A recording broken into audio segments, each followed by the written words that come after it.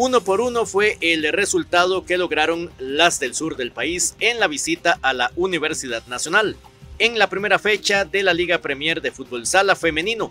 Costa Ballena debutó en este arranque a cinco futbolistas, el 50% del plantel que viajó al partido en Heredia. Muy diferente a lo que era el torneo pasado, sin embargo, de igual manera tratamos de poner en práctica todo lo que entrenamos. Muchas chicas nuevas, diferentes. El gol fue un error, un error de nosotras, un mal posicionamiento. En segundo tiempo ya mejor, más, eh, más sueltas al ataque, tuvimos varias oportunidades. Con el primer punto del campeonato, Costa Ballena se alista para el siguiente partido, que será el fin de semana en casa ante Punta Arenas.